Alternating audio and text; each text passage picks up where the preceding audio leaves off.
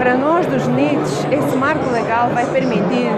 que nós realmente executemos a nossa função dentro da sociedade brasileira, convertendo essa enorme criação, pesquisa, artigos